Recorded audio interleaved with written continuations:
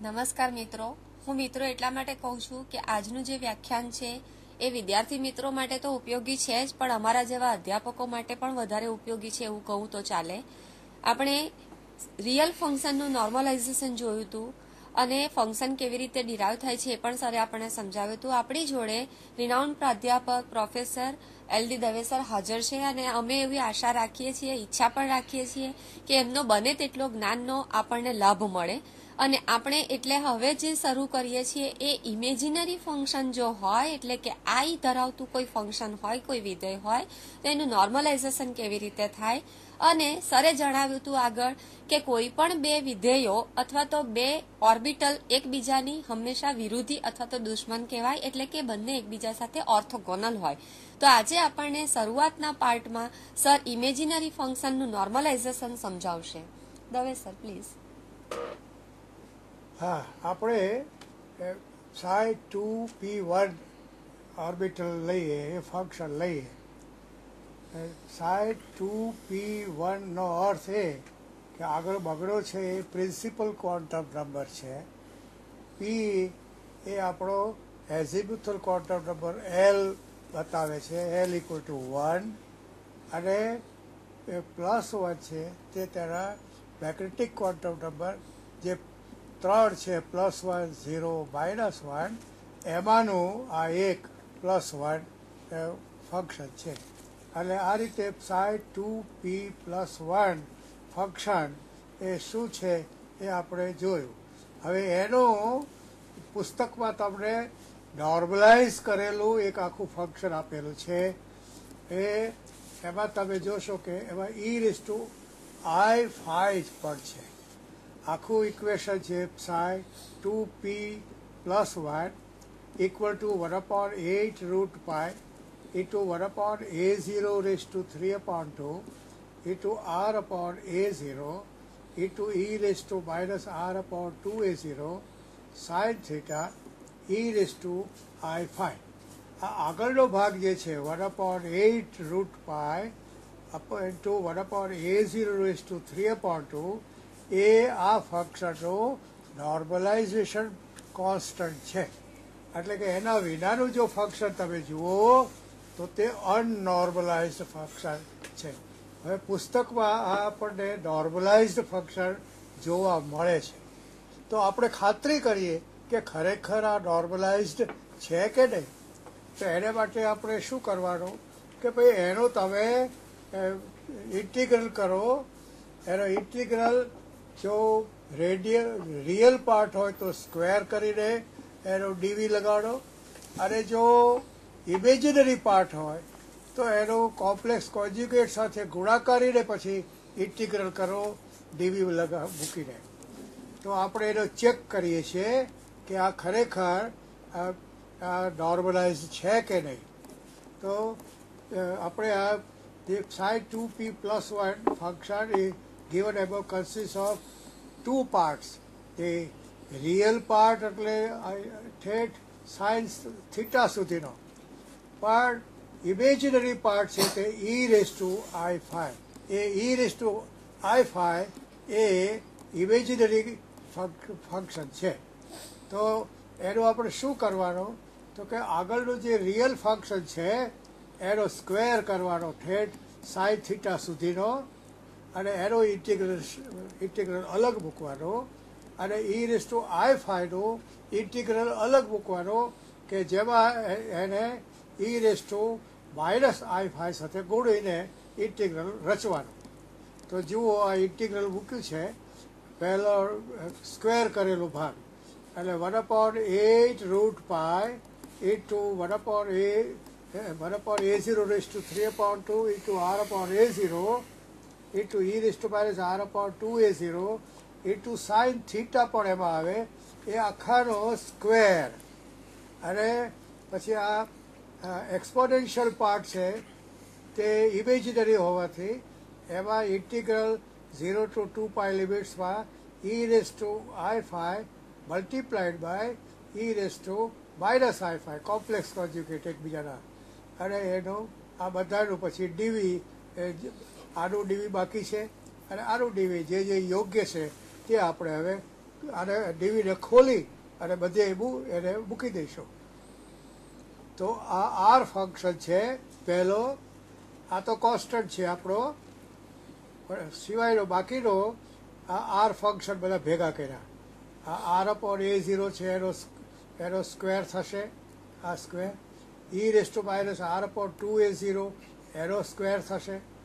પછી અહીંથી આપણે ડીવીમાંથી લાવીશું આર સ્ક્વેર ડીઆર.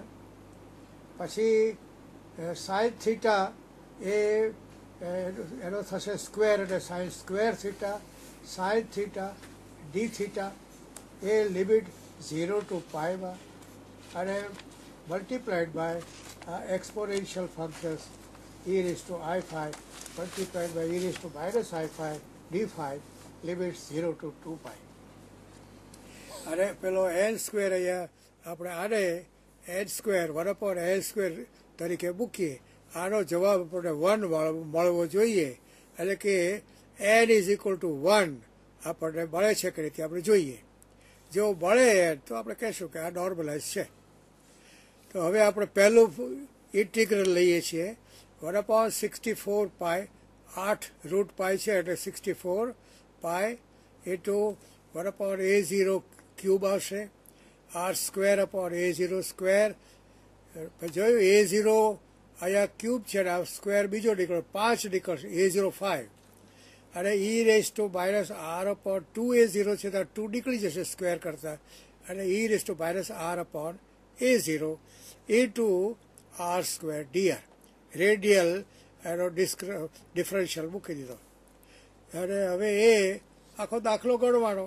આ આપણો જાણીતો ગામા ફંક્શન એટલે અપોન સિક્સટી ફોર પાય જોયું, ગામા ફંક્શન સતત આ બધા દાખલાઓમાં તમારે આવશે. સિક્સટી ફોર પાય એટલે one upon A zero five તો છે જ આપણે અત્યારે કશું કર્યા પહેલાં જ. આ એ ઝીરો સ્ક્વેર અને એ ઝીરો ક્યુબ એટલે એ ઝીરો ફાય હવે r square into e raise to minus r upon a zero into r square d r એ આપણો ગામા ફંક્શન થયો. આ આર સ્ક્વેર અને આર સ્ક્વેર આર અને r four r raise to four અને factorial four અને આપણો constant શું છે? વન અપોન એ ઝીરો તો વન અપોન એ ઝીરો અને એનો પાવર આ ચારથી એક વધારે એટલે ફાઇવ અને આખું બધું તમે દાખલો કરો, આ એ ઝીરો ફાઇવ ઉપર છે અહીંયા અને આ એની નીચે આવશે. અને આ a zero a zero five નીકળી જશે. અને આપણને ટ્વેન્ટી ફોર જે છે ફેક્ટોરિયલ ફોર એટલે twenty four divided by sixty four pi એટલે કે થ્રી અપોન એઇટ પાય આપણે જવાબ આવ્યો આ આખા ઇન્ટિગ્રલનો આપણે જવાબ મળ્યો થ્રી અપોન એઇટ પાય હવે આપણે સેકન્ડ ઇન્ટર ઇન્ટિગ્રલ લઈએ. એ આપણે પહેલાં કરેલું જ છે. Sine square theta sine theta d theta અને સાઈડ ક્યુબ થીટા એનું આપણે આખું ઇન્ટિગ્રલ કરી ગયા છીએ અને આપણને એનો જવાબ ફોર અપોન થ્રી પાય આપણને મળે તો આ રીતે આપણને આનો જવાબ પણ આપણી પાસે આવી ગયો છે. હવે છેલ્લું ફાય ફાય ક્યાં છે? હા અચ્છા. હા. આ સાઈડ ક્યુબ થીટા વાળું અહીંયા આવી ગયું. એનો ફોર અપોન થ્રી આવ્યો. હવે E raise to I phi A multiply by E raise to minus I phi D phi આ ઇમેજિનરી ક્વોન્ટિટી આવે, એટલે ઘણા લોકો ભડકે છે, જરા મૂંઝાય છે. પણ વાસ્તવમાં સૌથી સહેલો દાખલો એ જ છે, કારણ કે e raise to i phi multiply by e raise to minus i phi આપણે નીચે બેઝ એક જ છે, તો ઉપર ગોળાકારમાં આડો સરવાળો થાય, એટલે ઈ રેસ ટુ ઝીરો થાય. E raise to zero is one એટલે આ આખો ઇન્ટિગ્રલ થઈ ગયો માત્ર ડી ફાઈનો એટલે ડી ફાઈનો ઇન્ટિગ્રલ ફાઈ અને limit zero to two pi અને ટુ પાય માઇનસ ઝીરો અને ટુ પાય આવ્યું. અને બધા જ ફેક્ટર બધા ક્વોન્ટિટીઝ ભેગા કરો, તો one upon n square is equal to three upon eight pi A two four upon three A to two pi is equal to one તોથી આપણે જજમેન્ટ આપી શકીએ, આપણે કહી શકીએ કે આ ફંક્શન જે રીતે આપ્યું છે પુસ્તકમાં તે નોર્મલાઇઝ છે અને બરાબર છે. હવે આપણે તો ઓર્થોગોનાલિટીનો પ્રશ્નો પણ વારંવાર ઊભા થતા હોય છે આ ફંક્શન્સ વચ્ચે. હવે ઓર્થોગોનલ ફંક્શન્સમાં શું હોય છે કે બે ફંક્શન્સ એમાં બે જોઈએ. નોર્મલાઇઝેશનમાં એક જ ફંક્શન જોઈએ. પણ ઓર્થોગોનાલિટી એટલે સામ સામે લડવાનું છે, દુશ્મન જોઈએ. અને બે ફંક્શન હોય તો જ ઓર્થોગોનાલિટી નિયમ આપણે ઉલ્લેખ કરી શકીએ. તો આપણી પાસે બે ફંક્શન સાઈ એ અને સાઈ બી છે. અને તો એનો ઓર્થોગોનલ છે કે નહીં, એ જાણવા માટે આપણે એનો ઇન્ટિગ્રલ કરીએ. અને જો એ ઝીરો આવે, એનો જવાબ જો ઝીરો આવે, તો આપણે કહીએ કે આ બંને ફંક્શન્સ જે આપ્યા છે, તે એકબીજાના ઓર્થોગોનલ છે. એવી રીતે શબ્દ પ્રયોગ એવી રીતે થાય. ઇન્ડિવિજ્યુઅલી નોર્મલાઇઝડ પોતે એક હોય તો કહેવાય કે ઇન્ડિવિજ્યુઅલી નોર્મલાઇઝ્ડ પણ મ્યુચ્યુઅલી ઓર્થોગોનલ અને આ બંને મ્યુચ્યુઅલી ઓર્થોગોનલ છે એમ બોલાય. તો ફોર હાઇડ્રોજન એટમ આપણને આપણે જે આપ્યા છે one s two s two p x three d z square three psi x square minus y square એટલે આ બધા પુસ્તકોમાં આપેલા છે, આપણને છાપેલા છે. એ બધા જ ઓર્થોગોનલ છે એકબીજાના. એટલે કે કોઈ પણ બે ફંક્શન્સને તમે લો અને એનો ઇન્ટિગ્રલ કરો ઓવરઓલ સ્પેસ તો તમને ઝીરો જ મળે. અને આપણે ઉદાહરણ રૂપે બહુ સિમ્પલ એવા આપણે ઓર્થોગોનાલિટી ઓફ વન એસ અને ટુ એસ ફંક્શન્સ લઈએ. એ એકબીજાના ઓર્થોગોનલ છે. ભલે એનો કુટુંબ એક જ છે એસ સ્વભાવના એસ ગ્રુપના છે. પણ છતાં એકબીજાના ઓર્થોગોનલ છે. એટલે ઓર્થોકોનલ એટલે એકબીજા ક્રોસ નહીં થાય એકમાંથી ઇલેક્ટ્રોન બીજામાં કૂદીને નહીં જઈ શકે. સિવાય કે તમે એને ધક્કો મારો, એનર્જી આપો વધારાને તો. એટલે એ ઓર્થોકોનલિટી સાય વન એસ અને સાય ટુ એસની આપણે સાબિત કરવી છે. તો આપણે કરીએ. એના નોર્મલાઇઝડ ફંક્શન્સ આપણે લીધા. આ વન એસ છે પહેલું.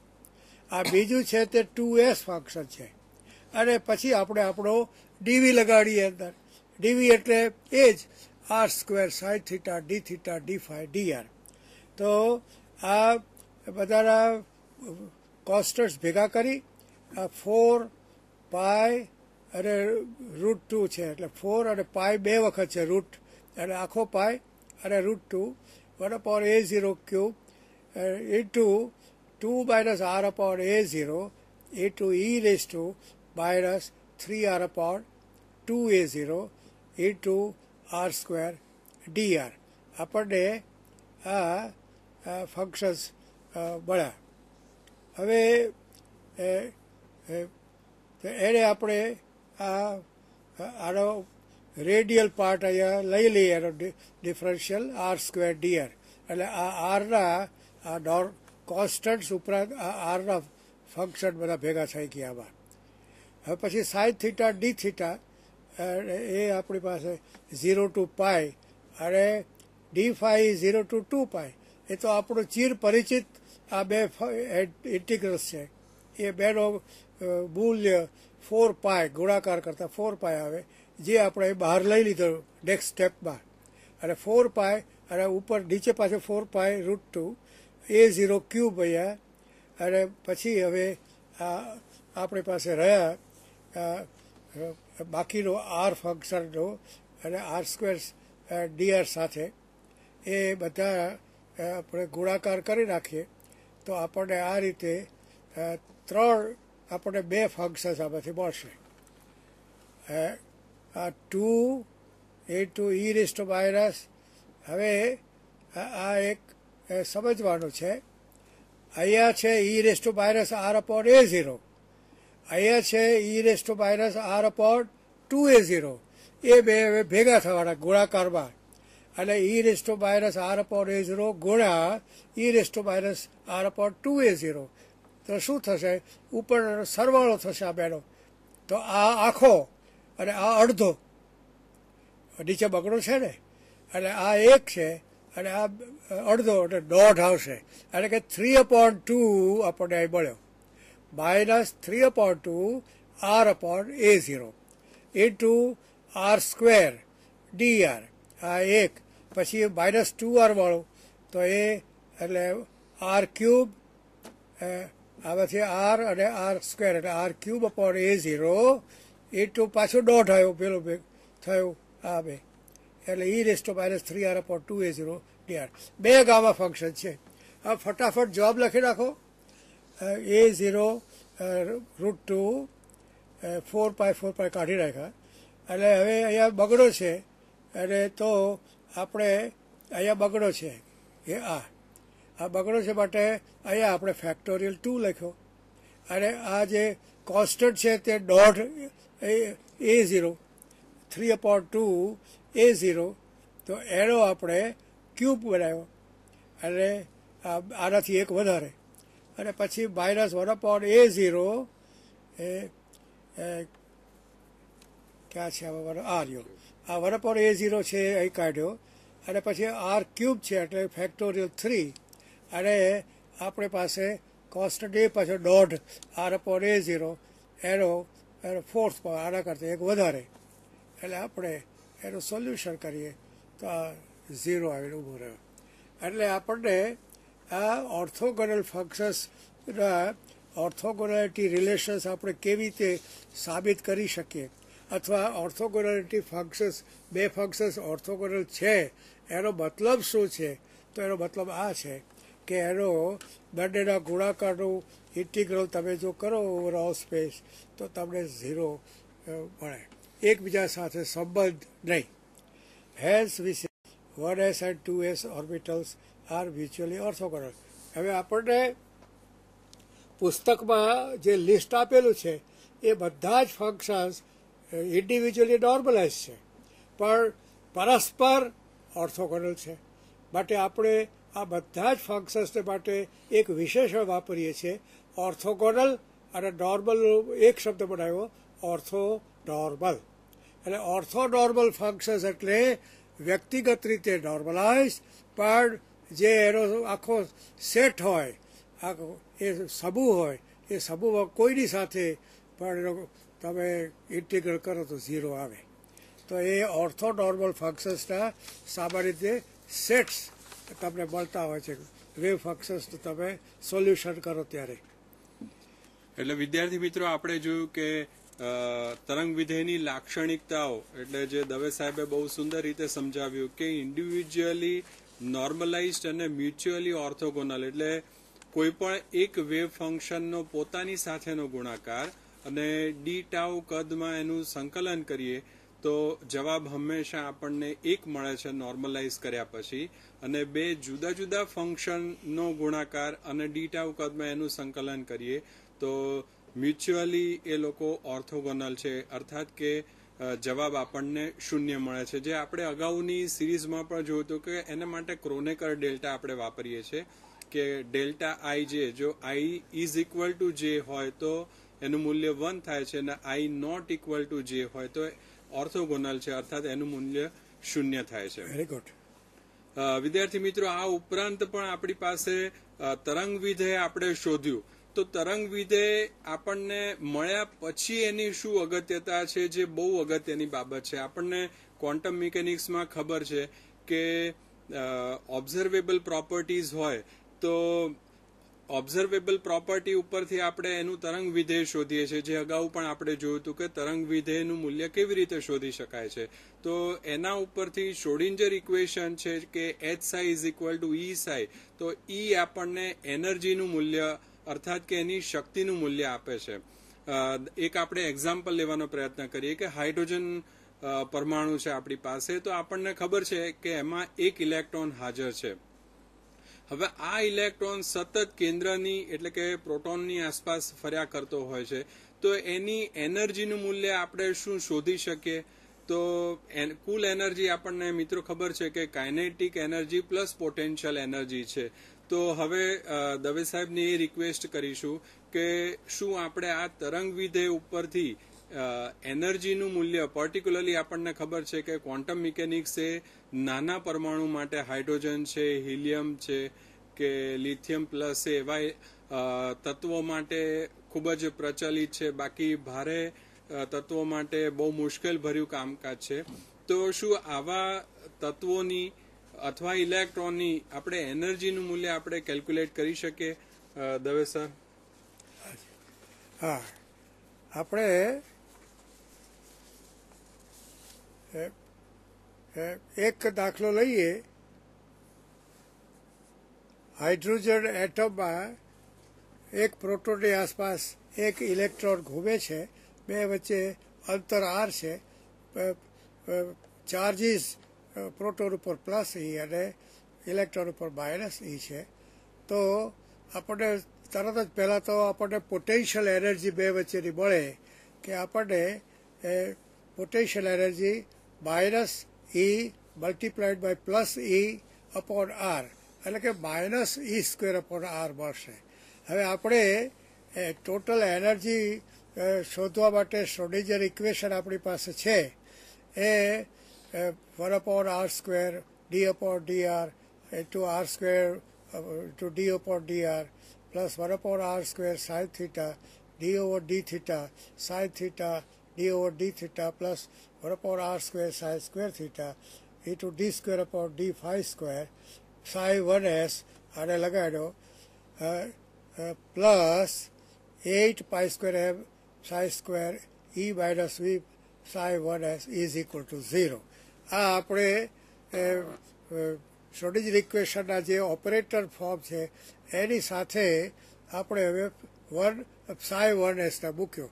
આ, એની સાથે સાય વન એસ મૂક્યો આર થીટા ફાઈવ ફંક્શનવાળા સાથે.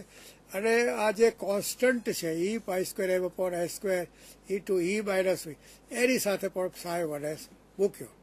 હવે આ આ દાખલો આપણે ગણીને એમાંથી આપણે આ ઈ શોધવાનો છે. આ એનર્જી વન એસ ઓર્બિટલની એનર્જી થશે એટલે ઈ વન એસ એમ આપણે કહીએ. તો એ વિશે થોડું પહેલાં આપણે શું આપણી પાસે માહિતી છે તે જોઈએ. એક તો એ કે સાય વન એસનું સૂત્ર નોર્મલાઇઝ સ્વરૂપમાં is one upon one root pi into one upon a zero to to three upon two e e to to r a zero જ્યાં તમે જાણો છો કે આર એ બે વચ્ચે પ્રોટોન અને ઇલેક્ટ્રોન વચ્ચેનું અંતર છે એ ઝીરો એ શું છે તો એ ઝીરો છે એ radius of the first orbit જે બોરે ગણેલી એ એ ઝીરો જો કે હવે આપણે જાણીએ છીએ કે ઇલેક્ટ્રોન સર્કલમાં નથી ઘૂમતો ટુ ડાયમેન્શનલ પ્લેનમાં નથી ઘૂમતો પણ થ્રી ડાયમેન્શનલ સ્ફિયરમાં છે. એટલે કે એક્સ અને વાય વેરિયેબલ્સ નહીં, પણ એક્સ વાય અને ઝેડ ત્રણ લેવા પડે છે. અને માટે તો આપણે આર થીટા અને ફાઈ એ ત્રણ વેરિયેબલ્સ આપણે લીધેલા છે. પણ એ રેડિયસનો એ ઝીરોનું બીજું મહત્વ છે જે આપણે આગળ ઉપર જોઈશું. એટલે એ હવે ડક્કામો આંકડો નથી. તો એ ઝીરો એને is equal to h square upon four pi square a b square એનું. એ બધા કોન્સ્ટન્ટ છે, આપણે પહેલાં જોયેલું. એનું મૂલ્ય લગભગ પોઈન્ટ ફાઇવ થ્રી એક્સ્ટ્રમ જેટલું છે. એ કોન્સ્ટન્ટ છે. હવે experimental value of the energy એ જાણીતી છે. એ આપણે સ્પેક્ટ્રમમાંથી મળે. તમે હાઇડ્રોજન એટમનું સ્પેક્ટ્રમ લો તો તમને રેખાઓ મળે. એ રેખાઓ આવ્યા કરે ઇલેક્ટ્રોનની જુદી જુદી એનર્જી વચ્ચેના એના ટ્રાન્ઝિશન્સને લીધે. પણ પછી છેવટે તમે ખૂબ જ એનર્જી આપો, તો પછી ઇલેક્ટ્રોન છૂટી પડે અને છોડી ન્યુક્લિયસ છોડીને જતો રહે. તો એને આપણે આયોનાઇઝેશન કહીએ. અને ત્યાર પછી તમે જેટલી એનર્જી આપો એ બધી એનર્જી સ્વીકારે. એને કન્ટિન્યુઅમ કહેવાય. એ આપણને સ્પેક્ટ્રમમાં દેખાય, એક પછી ધાબુ, એક પ્રકાશમાં દેખાય. એટલે એની જે શરૂઆત છે, એ આયોનાઇઝેશન એનર્જી અને એનો માઇનસ કરો એટલે બાઇન્ડિંગ એનર્જી એટલે આપણને ઇલેક્ટ્રોનની કેટલી એનર્જી છે તે એક્સપેરિમેન્ટલી આપણી પાસે માહિતી છે. અને એને, એનું મૂલ્ય minus twice m square m e four upon h square અને બધા મૂલ્યો તમે મૂકો તો minus thirteen point six electron volt એની વેલ્યુ છે. અને એને હવે આપણે થોડું રૂપાંતરિત કરીએ અને એને એ ઝીરોને અંદર લાવીએ આમાં. તો એને માટે શું કરીએ કે એક તો જ્યારે માઇનસ છે સમજી લેવાનું. માઇનસ એટલે એટ્રેક્શન બે ઇલેક્ટ્રોન એકબીજાની સાથે એટ્રેક્ટ કરે. એક પ્લસ છે એક માઇનસ છે. એનો ગુણાકાર કરેલો માઇનસ આવે. તો જ્યાં જ્યાં માઇનસ હોય, ત્યાં સમજવું કે એનર્જી ઓછી થાય છે. એટલે કે સ્ટેબિલિટી છે. સ્થિરતા છે. જો બંને પોઝિટિવ હોય, તો ધક્કો મારે એકબીજાને. અને આપણને એ પોઝિટિવ વેલ્યુ આવે. બંને નેગેટિવ હોય તોય પોઝિટિવ થઈ જાય. એટલે એ પણ ધક્કો મારે. એટલે એ અસ્થિરતાની સ્થિતિ પ્લસ એટલે. માઇનસ એટલે સારું. સ્થિરતા સ્ટેબિલિટી છે. એમાં આપણે થોડું ગણિત કરીએ. ઉપર નીચે બે મૂકીએ. ઉપર બે ગોળીએ, બે ભાગીએ. એટલે કંઈ ફેર ન પડે. પણ two pi square m e square e square આપણે ઈ ફોર છે. એના બે ટુકડા કર્યા. ઈ ટુ અને e e square e square upon s square તો તમે જોશો કે આપણો આ છે તે એ આ four four pi square m square upon s square એ આપણો, એ ઝીરો છે. એ નીચે આવશે, કારણ કે એચ સ્ક્વેર ને બધું નીચે છે. એટલે આ રીતે આપણને આ ઈ સ્ક્વેર વધ્યું તે ઈ સ્ક્વેર આ માઇનસ અહીં છે તે માઇનસ આ બે છે તે બે અહીંયા, અને આ છે તે ઈ ઝીરો એટલે કે એની એનર્જી આપણે જાણીએ છીએ. Minus e square upon two a zero છે. તો આપણે એ એનર્જી હવે આપણે શ્રોડિંજર ઇક્વેશનનો ઉપયોગ કરીને અને શ્રોડિંજર ઇક્વેશનનો પ્રભાવ કેટલો મોટો છે, કેટલો ઉપયોગી એ ઇક્વેશન છે, તેની પણ આપણને પ્રતીતિ થાય. એટલે આપણે એ દ્વારા આપણે એનર્જી શોધીશું, આ ઈ વન એસ, અને તે આપણે આ આંકડો મળશે. આપણે હવે શરૂ કરીએ. પોટેન્શિયલ એનર્જી આપણે જોયું minus e square upon r છે. તો આપણે આ બધા વી અને સાય વનસને આવા ઇક્વેશનમાં મૂકીએ અને polar form of the Schrodinger equation એ આપણે હમણાં બોલી ગયો હોઉં એ પ્રમાણે આપણને આ ઇક્વેશન મળે. એ ઇક્વેશનને હવે જરા લાંબુ લખવાનું છે એટલે આવી રીતે આડો કાગળ રાખ્યો છે. હા. તો આ equation one upon r square d over d r r square d over d r plus one upon r square theta d theta sine theta d over d theta plus one upon r square sine square theta d square upon d phi square હવે આ આપણો ડીવી એટલે one upon root pi into one upon a zero raise to three upon two into e raise to minus r upon one s છે, આમ sorry આપણો one s મૂક્યો આપણે one upon root pi into one upon a zero raise to three upon two into e raise to minus r upon a zero અને અ, અ, હજી આપણે મૂક્યો નથી એમને. અચ્છા. એટલે અહીંયા વન એસ જોઈએ. સાઈ વનએસની વેલ્યુ તમે એટલે મૂક્યું. બરાબર છે. સાઈ વન એસ આપણે મૂક્યો બરાબર છે. અને plus eight pi square m h square into બાકીનું ઈ વન એસ જે આપણે શોધવાનો છે plus e square upon r potential energy minus હતું, પણ ઈ માઇનસ વન છે, એટલે પ્લસ થઈ ગયો અને સાઈ વન એસ આપણે મૂક્યો ઇઝ ઇક્વલ ટુ ઝીરો તો એ હવે સાઈ વન એસ આપણી પાસે આ ભૂલીએ છે one upon root pi one upon a zero raise to three upon two into e raise to minus r upon a zero, A normalise function આપણી પાસે છે. એ આપણે આની અંદર અહીંયા મૂકીએ આ ડી, તો આપણને શું મળશે? એ અહીંયા આપણે મૂકીએ, એને હા, આની અંદર માત્ર આર જ છે. વેરિયેબલ આ એક જ છે. આર. એમાં નથી થીટા, નથી ફાઈ. હવે જ્યારે તમે આ બધી જગ્યાએ સાહેબ મૂકશો આ ત્રણેય જગ્યાએ, ત્યારે અહીંયા ડી ઓવર ડી આર છે એ બરાબર છે. આમાં આર છે એટલે આ કંઈક આપણને પરિણામ આપશે. પણ અહીંયા તો આપણી પાસે ડી અપોન ડી થીટા છે. અને આમાં થીટા છે જ નહીં. એટલે આ આખું ટર્મ ઝીરો આપશે. એ જ પ્રમાણે d square upon d phi square એ આમાં ફાઈ નથી.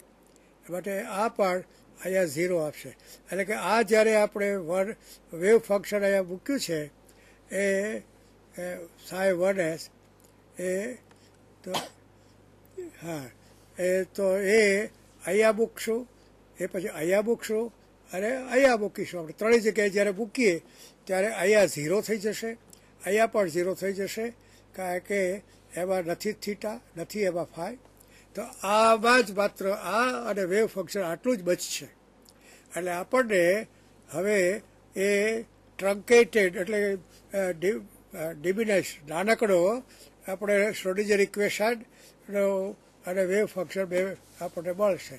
તો જો one upon r square d over d r square d over d આ ઓપરેટર પાર્ટ ઇન્ટુ આપણું આ વેવ ફંક્શન વન એસ, અને પછી આ eight pi square m h square upon s square into e by one s plus e square upon r અને આ સાય one S હું અહીંયા સાય વન એસ છે ને, એને જાણી બૂજીને ખોલતો નથી.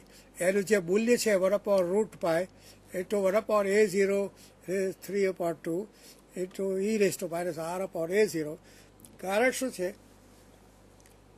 કે આ જે ક્વોન્ટિટી છે, એમાં કોઈ જાતનો કરામત કરવાની છે નહીં. કોઈ જાતનું ઓપરેશન કરવાનું નથી, સિવાય કે ગુણાકાર. આ કોન્સ્ટન્ટ છે, આ ઈ વનસ એ પણ કોન્સ્ટન્ટ છે, આ ઈ સ્ક્વેર પર આર એ પોટેન્શિયલ એનર્જી છે. એ પોટેન્શિયલ એનર્જીનો ઓપરેટર છે, પણ પોટેન્શિયલ એનર્જીનો ઓપરેટર જ્યારે વેવ ફંક્શન ઉપર ઓપરેટ કરે એટલે કે માત્ર ગુણાકાર કરે. એટલે કે આ તો માત્ર ગુણાકાર જ છે. એટલે આમાં આપણે કંઈ છેલ્લે જ આના ઉપર ધ્યાન આપીશું. આપણે આ ભાગને જોઈએ. તો આ ભાગ તમે જોઈ શકશો કે કેટલું સરળ છે. આપણે એને એક તો શું છે, પહેલાં સરળીકરણ એક નાનકડું કરી લઈએ. આ જે બ્રેકેટમાં જે ફંક્શન છે, એના બે ટુકડા કરી નાખીએ. કેવી રીતે? તો કે આ ડી ડીઆરથી આનું ડિફરન્શિએશન કરીએ. તો વન અપોન આર સ્ક્વેર પછી આપણે d over d r into r square into d over d r એ હવે આ બધા ડીઆર સીધા લખવા જોઈએ. ડી ઓવર ડી આર કારણ કે હવે માત્ર આર જ વેરિયેબલ છે, બીજા વેરિયેબલ નથી. એટલે ઇઝ ઇક્વલ ટુ હા, જો અહીંયા ડી બરાબર લખાયો છે. તો આપણે શું કર્યું? બરોબર આર સ્ક્વેર બહાર રાખ્યો અને અહીંયા આર સ્ક્વેરને આપણે કોન્સ્ટન્ટ કર્યું. આ યુ વી થયો. યુ અને વી અહીંયા પણ આર હોઈ શકે. એટલે આપણે આ આર સ્ક્વેરને એમને રાખ્યો. અને d square upon d r square થશે. અને પછી બીજામાં આપણે આર સ્ક્વેરનું ડિફરન્શિએશન કરીએ. એટલે ટુ આર એ ટુ બાકી રહ્યો ડી ઓવર ડી આર એમને એમ રહેશે. એટલે આપણને આ રીતે જવાબ મળશે. અને પેલું તો એટલે આપણને આ થયો આર સ્ક્વેરને અંદર લઈ લઈએ. તો આર સ્ક્વેર આર સ્ક્વેર જતું રહે એટલે d square upon d r square અને ટુ આર છે અને નીચે આર સ્ક્વેર એટલે ટુ અપોન આર એ તો ડી ઓવર આખા શ્રોડિંજરનું ઇક્વેશન આ ઓપરેટર આટલું છે. વડેસ માટે. એટલે હવે આપણે એનો ઉપયોગ કરીએ. D square upon d r plus two upon r d over d r આ આપણું વેવ ફંક્શન ફાઈવ વડેસ આવ્યું હવે એની તો minus two upon e raise to e square અચ્છા. એ આપણે આ eight pi square m upon s square into એ છે જે આપણું. એને આપણે શરૂઆતમાં જ અહીંયા પહેલાં જ ક્યાં ગયો? એનર્જી. આપણે અહીંયા એને આપણે ઈ છે, એ ક્યાં ગયો? હા, આપણે ઈનું વેલ્યુ આપણી પાસે માઇનસ આ છે જે e. Eight pi square m eight pi square m આપણો એને આપણે શું થયું? ઇઝ ઇક્વલ ટુ હા અરે અરે આપણે two into four pi square અહીં આપેલું છે, આ. એઇટ પાય સ્ક્વેર એમ પર a square is equal to two into આપણે આને એ ઝીરો બનાવેલો, એટલે આપણે two upon a square upon a zero આપણને આ મળે છે. એટલે એટલે એ મૂલ્ય અહીંયા મૂક્યું આપણે. Two upon e square upon a zero minus side આગળ છે. એટલે આપણે આ બાજુ લઈ ઝીરોને બદલે આને આ બાજુ ટ્રાન્સફર કરીએ, એટલે માઇનસ થશે. Minus two upon e square into a zero. એ આપણો આ થયો. Into e word s plus e square upon r psi word s આપણને આ છે, આ બાજુ, જમણી બાજુ થઈ ગઈ. આ આ બધું આનું આપણે ડિફરન્શિએશન આ બે વચ્ચે કરવાનું. એક બે વખત કરવાનું અને આમાં એક વખત કરવાનું. તો આ જ્યારે કરીએ ત્યારે શું થશે કે આ કોન્સ્ટન્ટ તો આવી જશે બહાર અને આનું થશે e raise to minus r upon a zero બે વખત કરો એટલે શું થશે? પહેલી વખત માઇનસ એ ઝીરો બીજી વખત કરેલો પાછો ગોળ્યા minus one upon a zero બીજી વાર. એટલે કે plus one upon a zero square આવશે. એટલે આપણને one upon a zero square A two આપણું ફંક્શન પાછું આવ્યું e raise minus r upon a zero હવે આનું ટુ અપોન આર એનું આ કોન્સ્ટન્ટ અને પછી ટુ અપોન આર અને આનું ડિફરન્સિએશન તો એક જ વખત ડિફરન્સિએશન છે.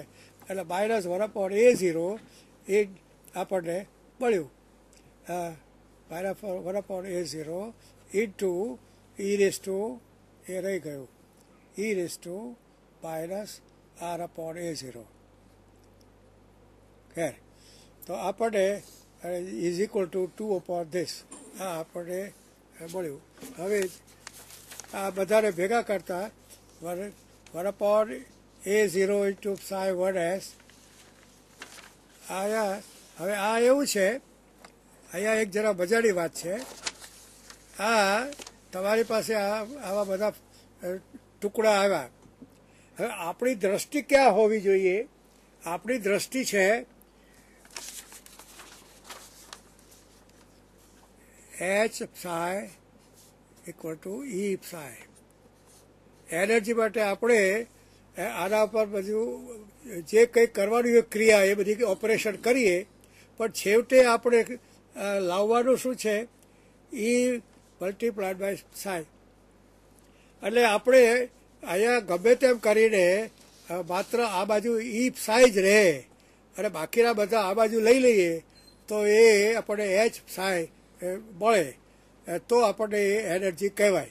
તો હવે જો તમે આ આમાં શું કરવું પડશે હવે?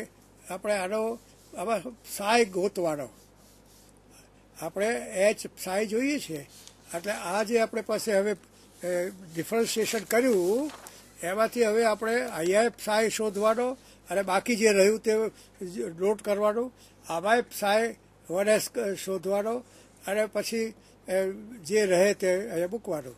તો જુઓ તમે, આ one upon root pi into 1 upon a 0 is to 3 upon 2 multiplied by e raise to minus r upon a 0 એ આપણો સાય વન છે. અને આ આ અને આ થઈને સાય વન અને આ ફેક્ટર થયો one upon a zero raise to two multiply by psi one s એ આપણને અહીંયા મળ્યો આની પાછળ છે. હા. એ વન અપોન એ ઝીરો જોયું? One upon a zero square A two psi વડેસ બની ગયો. એટલે એ રીતે આમાં શું છે કે કોઈ સ્ત્રી હોય, માથું ઓળે, સરસ મજાનું અરીસામાં જોવે માથું ઓળીને શું કરે, બધા વાળ ભેગા કરી, પાછળ અંબોડો આખો બધો બાંધે.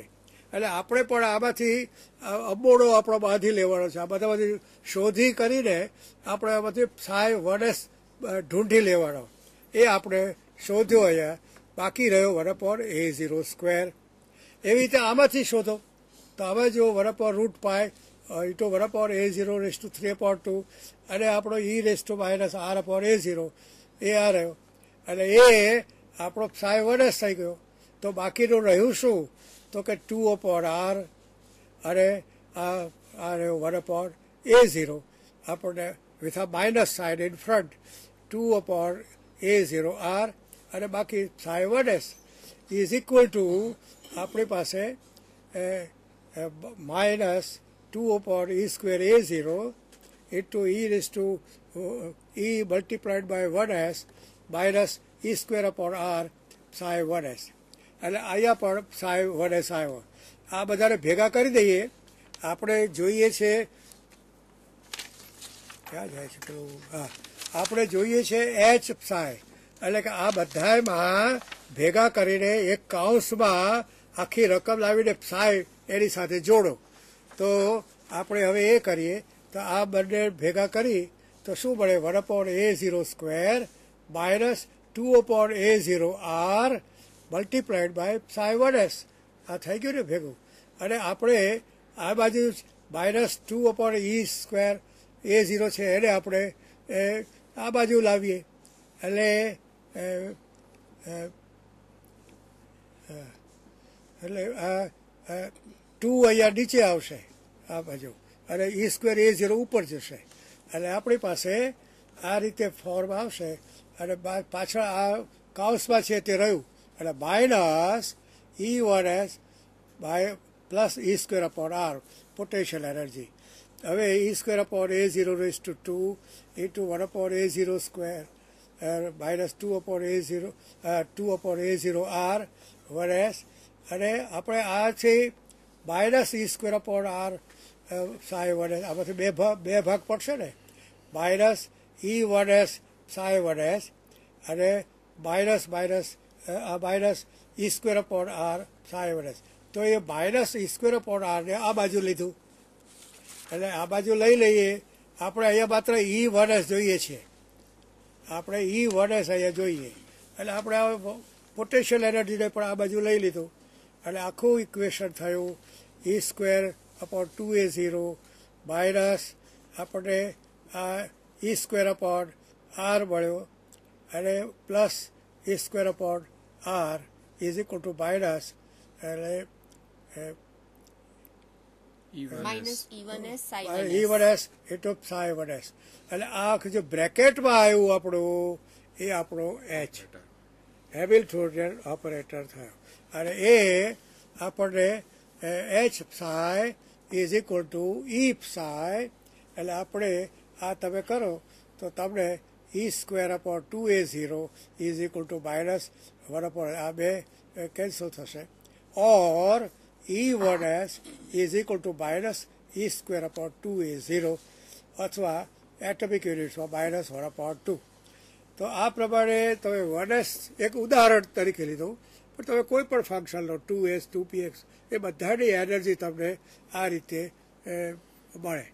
સ્ટ્રોડિજર ઇક્વેશનના ઉપયોગથી આપણને મળી શકે. જોયું મિત્રો?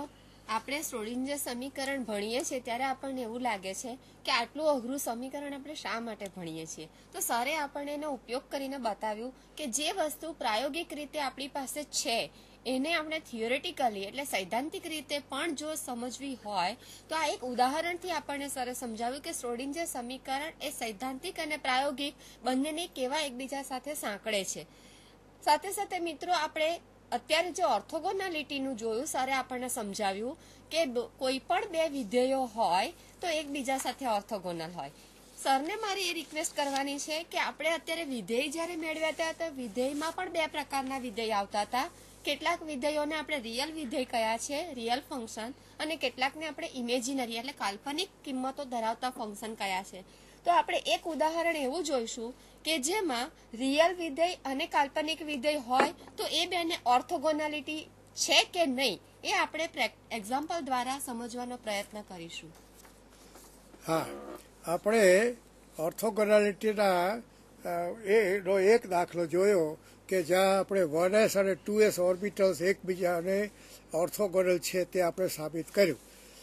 હવે એમાં આપણી પાસે બંને ફંક્શન્સ બંને ઓર્બિટલ્સ આપણી રિયલ હતી. એમાં આઈ નહોતો. હવે આપણે એક એવો દાખલો લઈએ કે જેમાં આપણી પાસે ઇમેજિનરી ફંક્શન આવે આઈ હોય.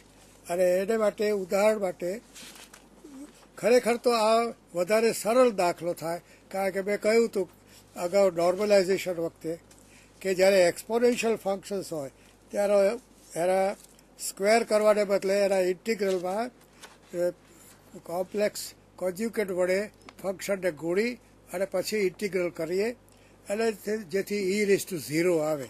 એનો ઉપયોગ કરવાથી આપણને આ વધારે સરળ પડશે. બાકીના રિયલ ફંક્શન્સ તો આપણે પહેલાં કરી ગયા છે. એનું રિપીટેશન થયા કરે છે. એ આપણે જોઈએ. જો આ બે આપણને નોર્મલાઇઝડ ફંક્શન આપણને પુસ્તકમાંથી આપણે લીધા, આપણને આ મળે છે. તો આ બંને એકબીજાના ઓર્થોગોનલ છે એ આપણે સાબિત કરવાનો છે.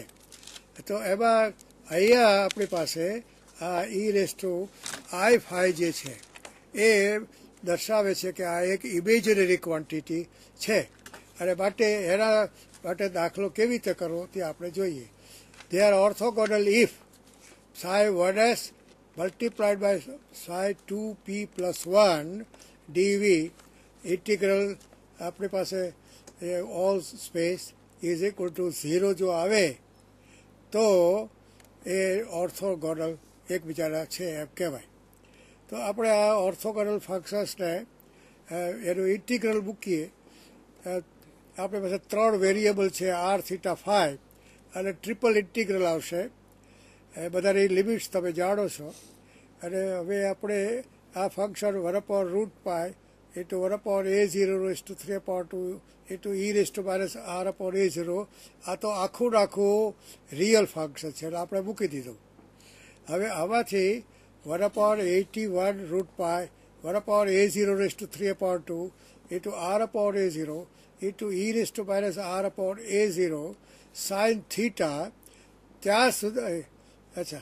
એ e to e raise to i phi હજી એને છૂટું નથી પાડ્યું, તો પછી એને અહીંયા ડી બી બતાવ્યો છે. હવે એને આપણે છૂટું પાડીએ તો આ, આનો સ્ક્વેર થશે. એ, આ ભાગનો સ્ક્વેર થશે આપણે. સ્ક્વેર લખવો જોઈએ. Integral of this square sir square નહીં આવશે. આપણે ઓર્થોગોનલ પ્રૂવ કરીએ છીએ અરે સોરી હા હા હા. હા બરાબર છે. નોર્મલાઇઝેશન નથી. બરાબર છે તો એ તો જે લખ્યું છે તે બરાબર છે.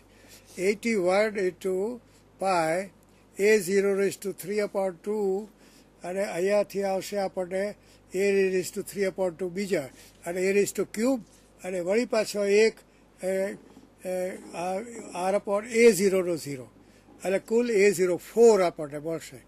અને zero to infinity e raise to minus three upon two a zero વળી પાછો પેલો સવાલ આવ્યો દોઢ આર અપોન એ ઝીરો અહીંયા અડધો, અને અહીંયા આખો. અને minus three upon two r upon a zero into r cube r cube છે. એ હા આર સ્ક્વેર એટલે આપણે ડીવીમાંથી આર સ્ક્વેર આવશે અને આ એક બીજો આર એટલે કુલ આર ક્યુબ થશે અને પછી ડી આર એટલે આરવાળા બધા ફંક્શન્સ અહીંયા ભેગા કરી લીધા. અને એ ગામા ફંક્શન આવ્યું. પછી psi square theta d theta અને ઈ ફાઈ એને ટુ પાયમાં આપણે અહીંયા કરવાનો. તો અહીંયા, હા ઈ ફાઈ આપણે કરવાનો છે. બરાબર છે. એટલે ડી ફાઈ હા. હવે આ બધા તો કોન્સ્ટન્ટ આ ગાવા ફંક્શન લખી નાખીએ આર ક્યુબ છે એટલે ફેક્ટોરિયલ થ્રી અને આરો three upon two a zero raise to four આનાથી એક વધારે.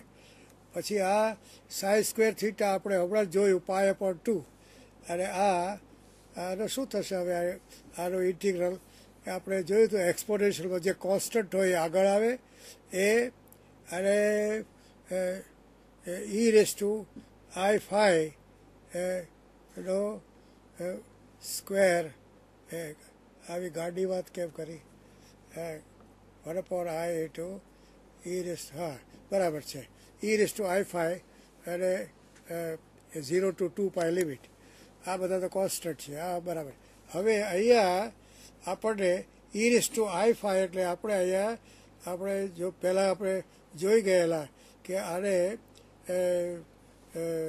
ઓઇલર્સ આઈડેન્ટિટી અથવા ઓઇલર્સ ઇક્વેશન તરીકે આપણે કન્વર્ટ કરીએ e raise to i phi એટલે કોસ ફાઈ વત્તા આઈ સાઈડ ફાઈ એટલે વન અપોન આઈ એ two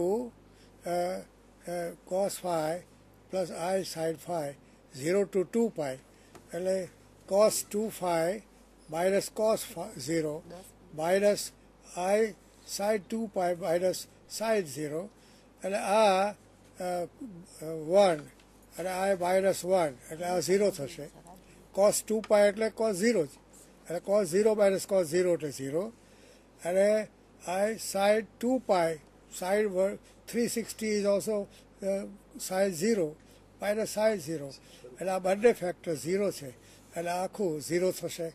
એટલે constants multiply by zero is equal to zero એટલે આ પ્રમાણે આ બંને એકબીજાના ઓર્થોગોનલ ફંક્શન્સ છે. ધીઝ આર મ્યુચ્યુઅલી પરસ્પર એકબીજાના ઓર્થોગોનલ ફંક્શન્સ છે. તેમ આપણે કહી શકીએ. તો આ પ્રમાણે ઓર્થોગોનાલિટીની વાત પૂરી થઈ. તો મિત્રો, આપણે અત્યાર સુધીના ક્વોન્ટમ મિકેનિક્સના વ્યાખ્યાન માળામાં વિધેય મેળવવા કેવી રીતે, વિધેયની લાક્ષણિકતાઓ શું છે એ વિધેયો પોતે પોતાની જાત સાથે નોર્મલાઇઝ હોવા જોઈએ. એટલે જ્યારે આપણને જે ડિરેક્ટ ડેલ્ટા સમજાવ્યો હતો ડેલ્ટા આઈ જે બરાબર વન ક્યારે થાય? આઈ જે બરાબર ઝીરો ક્યારે થાય? અને એની સાથે સાથે આપણે એક્ઝામ્પલ્સ લીધા કે રિયલ ફંક્શન હોય તો એકબીજા સાથે ઓર્થોગોનલ હોય, તે જ રીતે રિયલ અને ઇમેજિનરી ફંક્શન હોય, એ પણ એકબીજા સાથે ઓર્થોગોનલ જ હોય છે. બાય ચાન્સ કદાચ તમારી પાસે પ્રયત્ન કરતી વખતે બે ઇમેજિનરી ફંક્શન આવ્યા, તો એ પણ બંને એકબીજા સાથે ઓર્થોગોનલ હોવાના જ. એ આપણે અત્યાર સુધીના એક્ઝામ્પલ જે રીતે લીધા છે, એ પ્રમાણે તમે પોતે પણ સાબિત કરી શકો છો. ક્વોન્ટમ રસાયણશાસ્ત્ર અથવા ક્વોન્ટમ મિકેનિક્સ નો વ્યાપ એટલો બધો છે કે આપણે ગમે તેટલા વ્યાખ્યાનમાળાઓ કરીએ તો પણ એ અધૂરી જ લાગે અને એ પૂરું જ ન થઈ શકે. પણ અમે એવું વિચારીએ, અમે એવી આશા રાખીએ કે અત્યાર સુધી આપણને જે કંઈ લાભ મળ્યો છે સરનો, એના પરથી આપણને ઘણી બધી મહેનત કરવાની, પોતાને પણ ઉત્તેજના થશે, પોતાને પણ ઈચ્છા થશે અને કદાચ એમાંથી તમને કોઈ બીજા સવાલ ઉત્પન્ન થાય તો બેશક તમે એ સવાલો અમારા સુધી પહોંચાડજો. અમે એને સોલ્વ કરવાનો પ્રયત્ન જરૂર કરીશું. આભાર.